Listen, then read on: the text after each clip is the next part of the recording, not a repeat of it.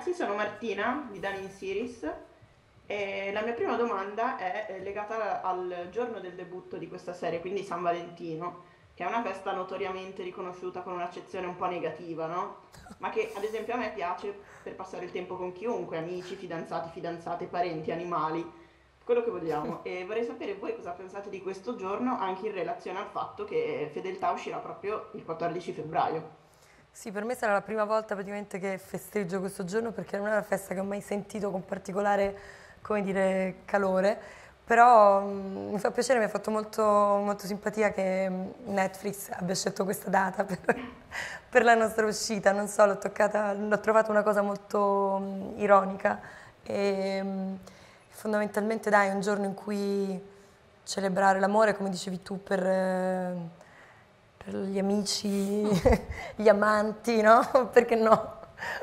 No, è una, è una scelta diabolica e, e, e geniale, perché, perché, non tradisce la giornata di San Valentino, cioè non tradisce la festa degli innamorati, perché comunque parliamo di due innamorati.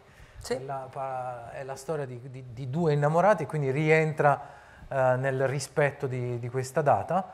E, però la, la, la, guarda da, da un'altra prospettiva, cioè nel senso, uh, nel senso che mi piace pensare che, che, i primi a guardarla saranno sicuramente quelli che avranno interrotto le, le, le proprie storie e che, e che, in questo giorno, in questo San Valentino, le coppie, quelle ancora che stanno insieme, andranno a cena magari.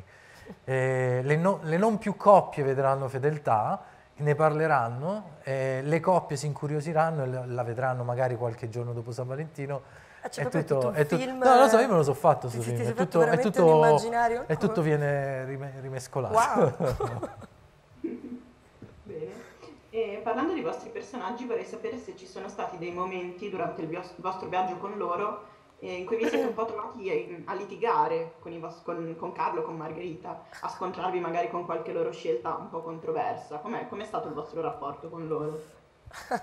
sì, fa questo...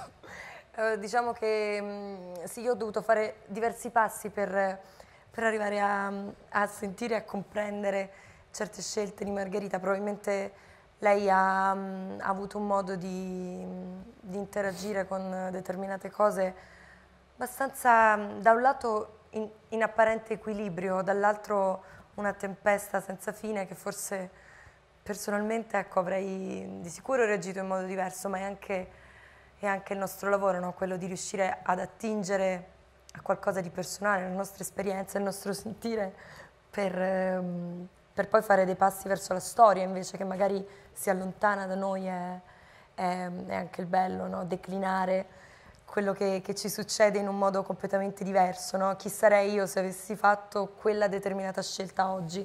Probabilmente sarei una donna come Margherita, magari se mi fossi sottratta a determinate cose, non lo so.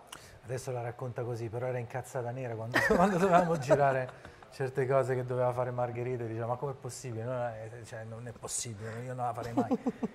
Eh, però riguarda più lei. Sì. No, per quanto riguarda me, l'ultima parte, diciamo, Carlo comincia a fare una serie di, di, di, di stupidaggini che, che, definiscono poi anche il perimetro dell'uomo messo alle strette, anche, anche, anche, in buona parte patetico davanti a certe, a certe, a certe azioni o reazioni. Ecco. Ultima domanda vi vorrei chiedere come vi sentite all'idea che questa serie arriverà in così tanti paesi del mondo, all'idea che qualcuno vi doppierà, qualcuno vi guarderà doppiati o che ancora qualcuno vi guarderà in lingua originale ma proprio da un paese straniero. È una gran figata secondo me, no? cioè il fatto del doppiaggio sinceramente mi fa sempre molto ridere quando mi rivedo. Ehm, il mio doppiaggio preferito solitamente è il francese. Vengo no. molto bene in francese, non so tu. Ah, vedi? no, non lo so. Quindi no. attendo questa... No. no. è elettrizzante, no? Cioè pensare che ti vedano così in, in così tanti paesi che è anche un po' spaventoso, da un lato. Ma sì, ma sarà curioso anche vedere dove, in quale paese sarà più, sarà più visto, no? Perché poi magari questa, questa roba riserva certe sorprese, non so, magari in Colombia, sai, con una tradizione di, de- de- de- Sul tradimento sul- di No, Cibella. sulle telenovelas, sai, queste robe. sì.